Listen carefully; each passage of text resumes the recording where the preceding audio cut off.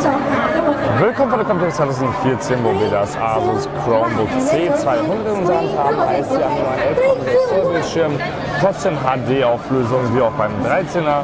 Genauso 16 bis 32 GB interner Speicher oder natürlich GB noch äh, RAM. Was wir noch hier erweitern können per SD-Karte, allerdings auch der Akku ist mit 48 Wattstunden der gleiche geblieben. Ich lese hier übrigens aber nur die technischen Daten ab, also die könnt ihr auch hier kurz anschauen, wenn ihr das Video einfach anhaltet und wenn meine Kamera gleich hier äh, fokussieren sollte. Ähm, 1,16 Kilogramm ist das Gerät schwer, sollte allerdings bis zu 11 Stunden Akkulaufzeit liefern.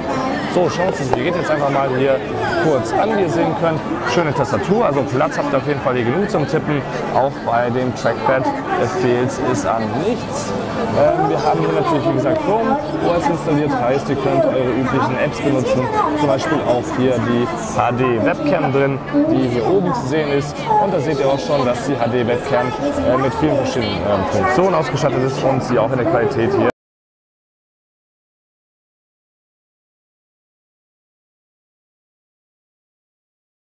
benutzen. Seitlich gesehen haben wir natürlich noch ein paar Anschlüsse. Kopfhörer, Mikrofon in einem, ein SD-Kartenslot, USB 3, HDMI und ein Stromeingang. Von außen, das ist jetzt ein schwarzes Modell. Ich denke mal, es soll es in verschiedenen Farben geben, so auch wieder beim 13er. Matt ist das ganze Asus-Logo und ein Chrome-Logo.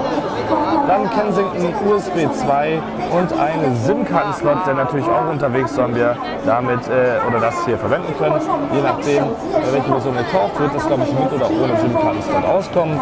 Vorne nichts. An der Unterseite haben wir hier per viele Schrauben lösen die Möglichkeit, eventuell auch den Speicher zu erweitern oder andere kleine Modifikationen vorzunehmen. Allerdings dann ohne Gewährleistung und auch die Lautsprecher befinden sich hier links und rechts übrigens. Genau, und das war es auch schon mit dem ganz kurzen Hands-on des Asus Chromebook äh, C200. Schön, dass ihr zugeschaut habt. Bis zum nächsten Mal. Mein Name ist Balaschka und vergesst nicht, den Chelsea